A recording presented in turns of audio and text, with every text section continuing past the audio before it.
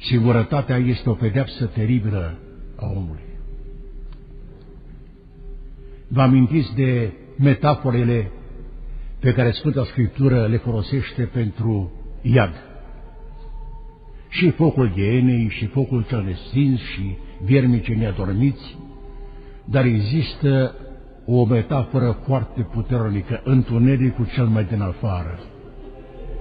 Sufletul depărtat de Dumnezeu și de lumina lui Dumnezeu se cufundă într-un întuneric de besnă absolută. Întunericul cel mai de la afară înseamnă întunericul absolut impenetrabil, în care ești condamnat să trăiești în veci dacă nu te-ai pocăit și nu te-ai întors la Dumnezeu și la lumina Lui.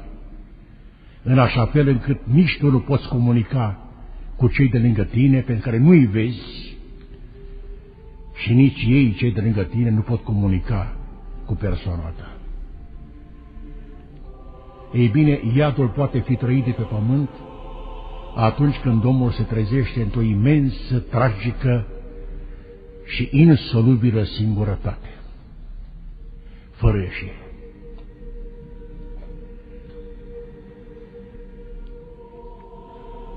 Acesta este Dumnezeu, Părintele nostru, și aceștia suntem noi, cei care nu se poate să nu plecăm pentru o zi, pentru două, pentru mai multe sau măcar pentru câteva minute de la casa Lui.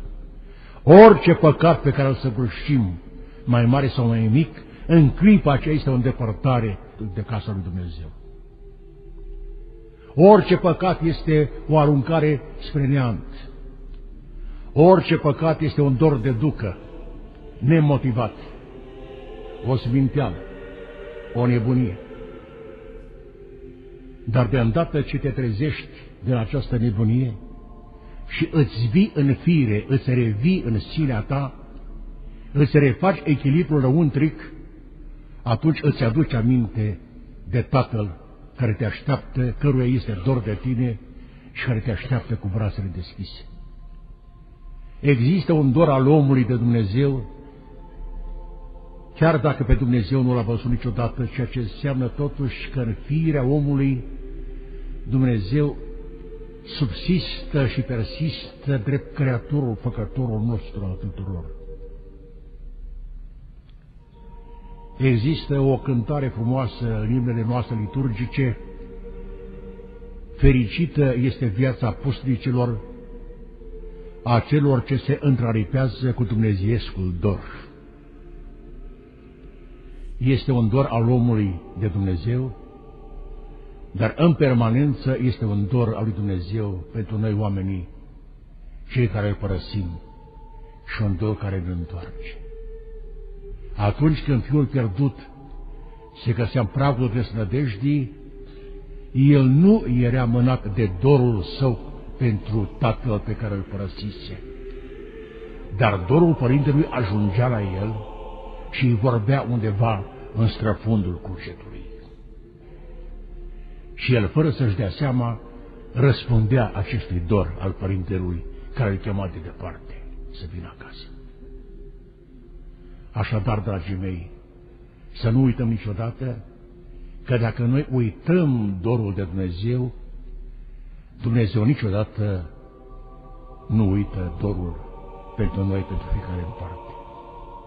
În pragul postului mare, când suntem îndemnați la un examen de conștiință mai puternic decât altă dată, când suntem îndemnați ca prin taina spovedaniei și prin examenul cugetului nostru să ne descoperim păcatele și greșalele de care să ne scuturăm, să nu disperăm oricât de mare ar fi păcatele noastre, oricât de mare ar fi.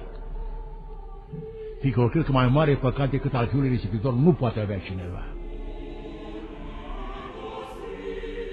Să nu ne cuprindă disperarea, ci să ne aducem aminte că întotdeauna este acolo la țărmul veșniciei cineva care cu mâna streașină la ochi privește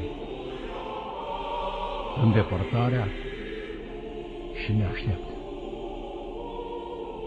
Nu numai să ne primească, ci să ne îmbrățișeze și să ne repună în demnitatea de fi al lui Dumnezeu.